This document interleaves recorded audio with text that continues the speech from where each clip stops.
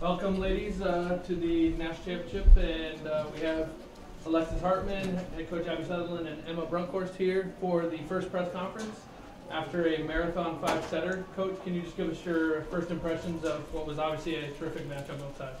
Uh, yes, you know, first of all, I'm really proud of the effort that our ladies put forth, but also Claremont. They went to two five setters in the regional, and I knew that they would be really, really tough to play. Um, and so that will to win that both sides had made the match, I think, pretty interesting. Uh, ladies, can you uh, talk about, as a, from a player's perspective, um, playing such a tough match and, or such a back and forth affair um, here in the first round, or quarterfinal round? Um, I think we were prepared for it. It's kind of what we did in our last round of our regional championship. Uh, we ended up going five with Cornell. So we knew that we could do it and we believed that we could, so we really just pushed for it. Yeah, I think um, it makes us mentally tough for the next round, which I think is really going to help. Now we know that we can fight, even if we get down, we're ready to fight back. Coach, how big was that timeout? In the fifth set? Yeah. Yeah, 13-13. I, you know, I wanted to stop the momentum. Volleyball is a game of momentum, and it was a roller coaster on both sides. We were feeling great at one at one point, and then the next point they did some good things, and then it was tough for us to recover. So I just wanted to call that timeout pretty quickly and stop that bleeding. What about even earlier in the set? I think uh, you seven four. Seven four. Seven four.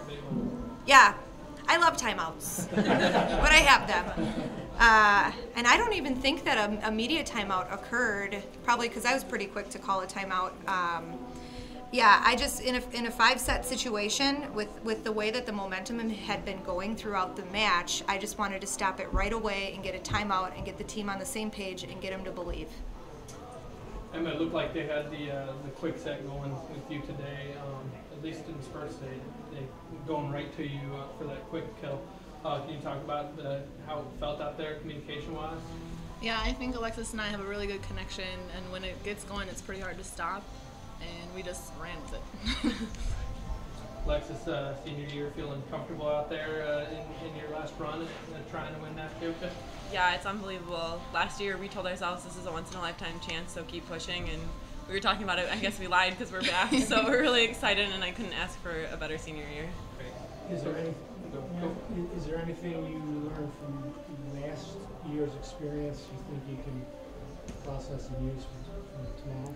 Yeah, absolutely. I think, you know, taking it a point at a time and the feeling that we had from our loss to Cal Lutheran last year, to me, it still stings, and I think it still stings with our returners. So we bring that with us tomorrow with the same focus, but knowing that, you know, losing, we don't want to lose. I love to win, but losing, that feeling, we don't want that back when when you get when when the momentum has shifted as much as it did in the late in the fourth and early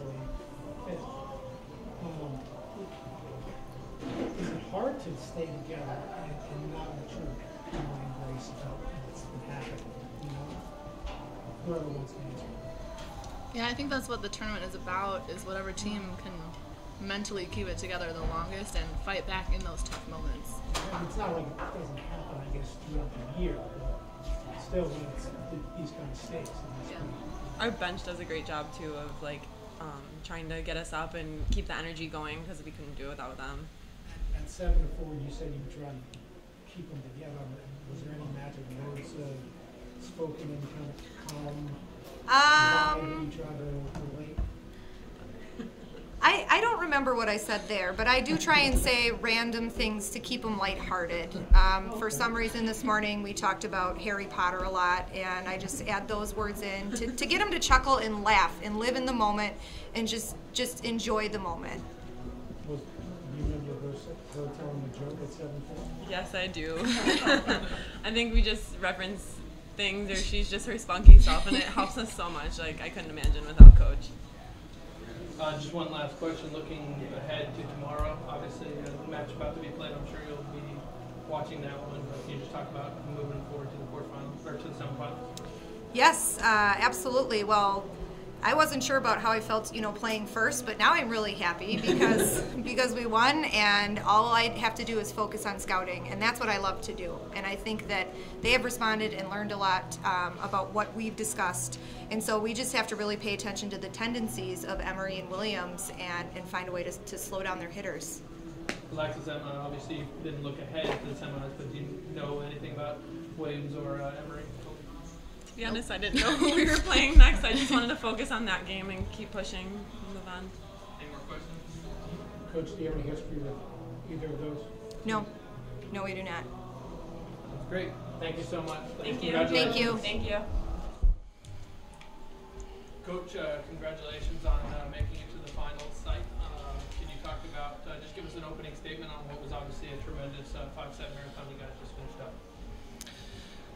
Wow. um, fun to be a part of those. If you're going to be here, you want to represent well, you want to show character, you want to show poise, you want to walk out of here a, a winner. Um, obviously, there's only one that can do that, um, but we feel like we've represented our school and our program extremely well.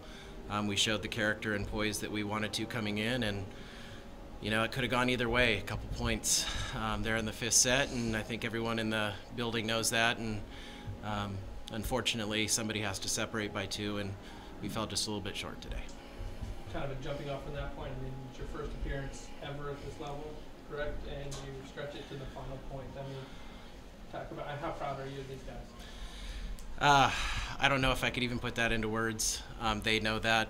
Um, it's been a long journey with, with Megan. We've talked. Uh, she was one of my first recruits, and so I'm proud to stand here uh, next to her and uh, be there for that final point of her career. So I think more importantly, um, win or lose, I'm proud to walk off the court with this kid and um, look forward to doing that with many, many more down the road. And hopefully, she set a nice tone for us. Megan, um, can you talk about uh, the defense against the, obviously a very strong attack from Wisconsin Stevens Point? It looked like you guys were really controlling there in spurts. Obviously, both teams had uh, momentum at times. Can you talk about the defense you guys played today? Um, I think our team. I mean, we've got this far because we play as a team. Um, we don't obviously don't have any standouts, so it's just everyone has everyone just gave it their all today. Um, the, the setters were digging, the, the hitters were digging, our DSs were digging. Everyone was just doing everything they could, and we just played as a team. On a positive note, I mean, what's it like being in this in this setting and being a part of a match like that? I know win or lose, it's got to be fun to play in a match like that.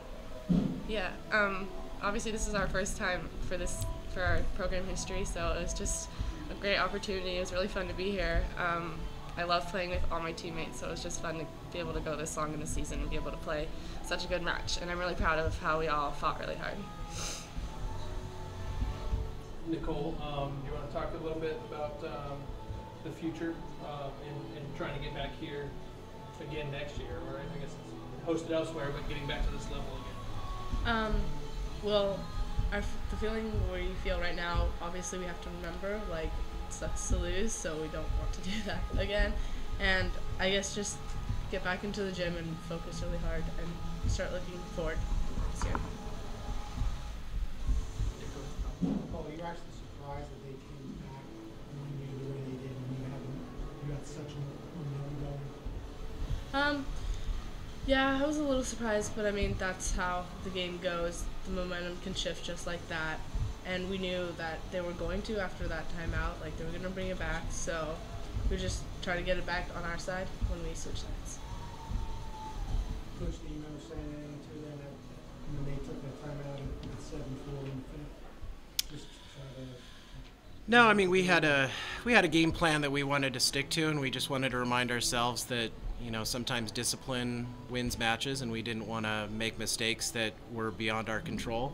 Um, you know, you try to control the errors, and you know you can't control everything. So um, we just tried to remind ourselves of that and, and key in on kind of what they had been doing in, in that, and they did. And you know, you got to give them credit for executing when they needed to. I was really proud of that team for coming out and, and responding. It's how the match had gone, so I don't think we were surprised by that. We're all set. Thank you guys very much. Congratulations on a terrific season. Thank you. Thanks.